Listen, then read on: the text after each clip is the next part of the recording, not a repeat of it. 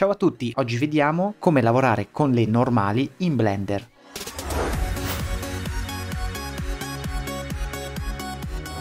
Nello scorso video abbiamo visto come creare dei solidi di rotazione, in particolare come creare anche oggetti che abbiano un'apertura e che quindi possa vedersi all'interno, come in questo caso. Da qui in avanti però è necessario introdurre il concetto di normali. Che cosa significa? Le normali sono delle linee che per così dire escono fuori dai nostri poligoni, dalle nostre facce e che indicano al programma 3D qual è la faccia interna e qual è la faccia esterna al nostro oggetto. Infatti, come abbiamo già detto, il nostro oggetto 3D non ha una sua solidità, è una mesh, quindi una griglia, come abbiamo visto in Edit Mode, che ci permette di avere questa struttura e creare quindi qualcosa che ci sembra solido. In realtà all'interno non c'è nessun materiale, come possiamo vedere. Quindi il software ha bisogno di capire da che parte noi stiamo guardando l'oggetto. Normalmente un oggetto come per esempio un cubo si parte dal presupposto che un oggetto come un cubo, una sfera, eccetera, debba essere visto dal di fuori, perché noi lo modelliamo e lo usiamo per costruire i nostri oggetti. E quindi il software dovrà calcolare la luce virtuale che rimbalza su questo oggetto che permette di farcelo vedere, calcolandolo appunto dal di fuori,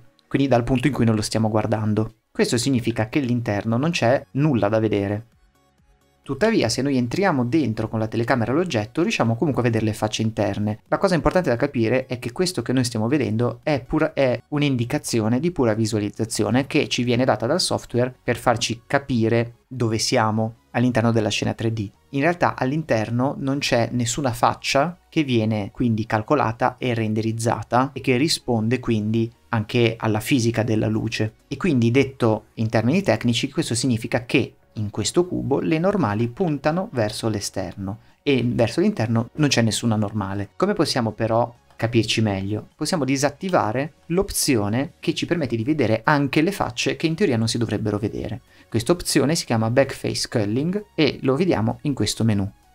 In fondo a Shading possiamo attivare Backface Culling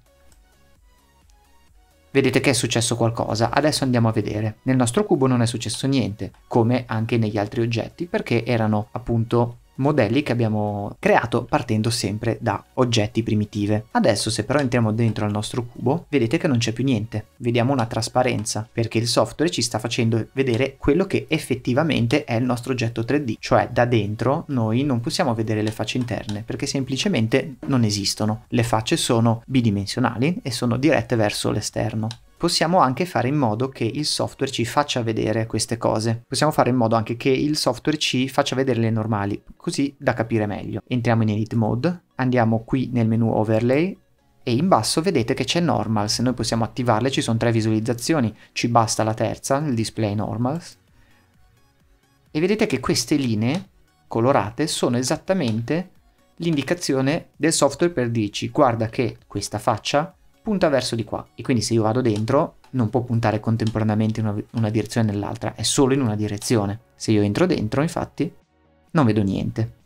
È possibile cambiare la visualizzazione di queste normali? Assolutamente sì. Per esempio, se io vado a cancellare questa faccia, schiaccio Canc Delete Face, io vedo la struttura della mesh, ma vedete che io vedo attraverso.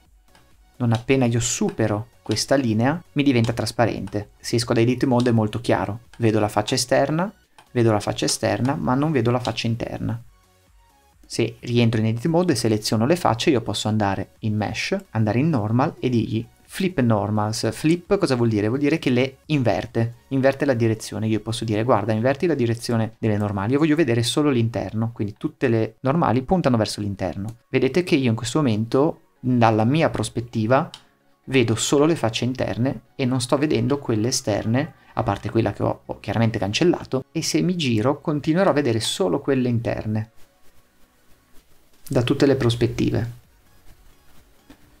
Una tecnica del genere per esempio è usata quando ci serve un fondale, per esempio nei videogiochi, si chiama skybox, ovvero una sfera dentro cui c'è tutto il nostro scenario del videogioco e che simula il cielo e il fondale per così dire. Quindi noi abbiamo una sfera che non vediamo mai da fuori, ma la vediamo solo e sempre da dentro, perché nel videogioco siamo all'interno di questo mondo, all'interno di questa sfera e quindi le normali devono essere girate verso l'interno. Ci sono poi dei casi, come quelli che abbiamo visto, in cui questa situazione non è volontaria. Se adesso cancelliamo il cubo, vedete che questi due oggetti che abbiamo creato precedentemente con eh, le curve e la rotazione hanno qualcosa che non va. Nel momento in cui abbiamo attivato la visione realistica eh, delle normali vediamo questi oggetti strani. Perché? Perché in realtà sono state calcolate male le normali nel momento in cui sono stati creati gli oggetti. Questo può assolutamente succedere ed è quindi importante avere questa opzione sempre abilitata perché altrimenti rischiamo di non accorgerci di questo errore. Vedete che così ci sembra tutto normale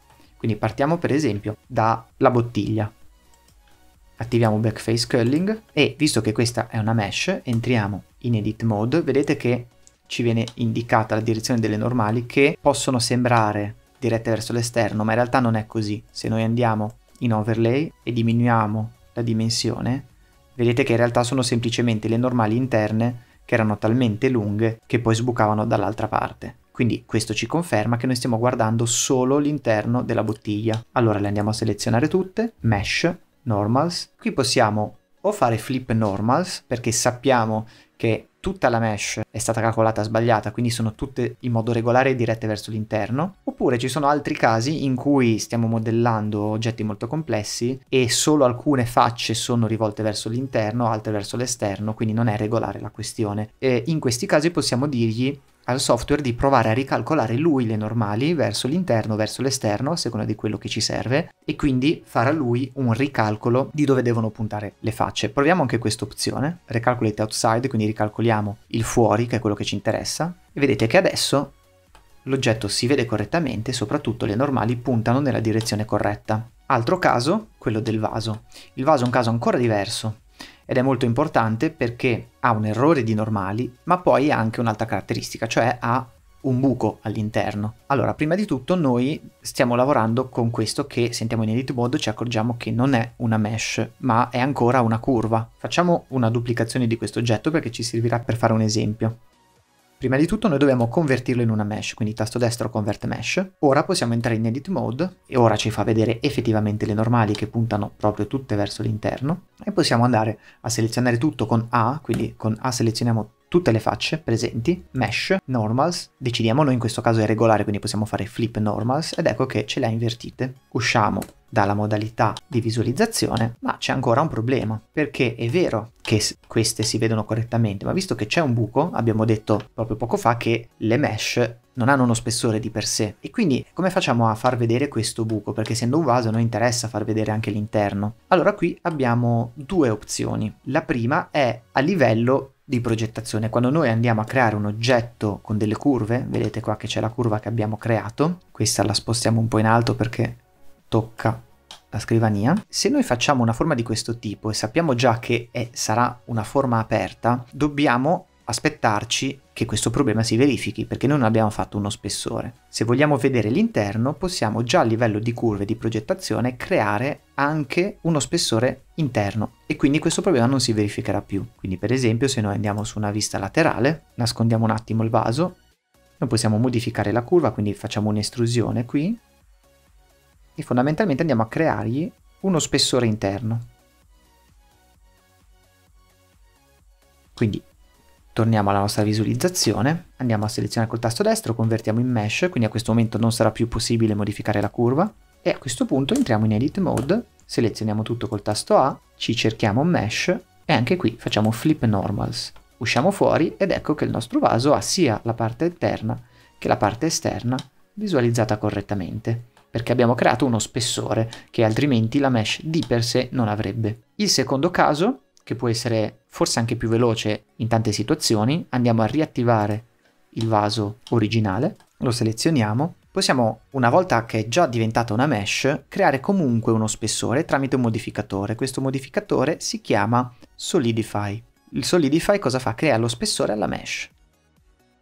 Quindi vedete che ha creato uno strato interno partendo dalla nostra curva che noi possiamo andare a cambiare di spessore e lo possiamo fare sia verso l'interno che verso l'esterno a seconda di quello che abbiamo bisogno e poi modificare ulteriori parametri.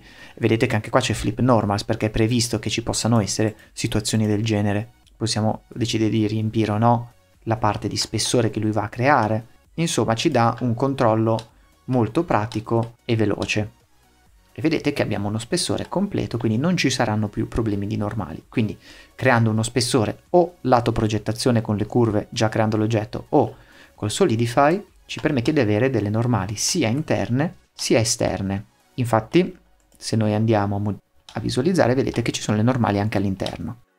Quindi queste opzioni sono fondamentali non solo perché capita spesso poi di incorrere in questi problemi di visualizzazione e di rendering, ma anche e soprattutto perché mh, lo stesso problema può verificarsi nel momento in cui noi importiamo un oggetto. Quindi se a volte importiamo degli oggetti terzi, fatti magari con altre applicazioni in formati diversi, può essere che il nostro software lo importi correttamente, ma semplicemente con questa visualizzazione strana, che vuol dire che le normali sono state per differenze fra un software e l'altro o per differenze di esportazione calcolate al contrario, quindi ci basterà semplicemente fare un flip delle normali per avere l'oggetto corretto. E alla stessa identica maniera può succedere che noi dobbiamo esportare un oggetto 3D per esempio per un game engine come Unreal o Unity e accorgerci che dall'altra parte quando viene importato le normali sono al contrario, non per errore nostro ma perché il software le calcola in maniera diversa. In questo caso conviene esportarlo già con le normali invertite in esportazione ci sono anche delle opzioni senza doverlo fare dal software, in modo che chi lo riceve lo vedrà già correttamente.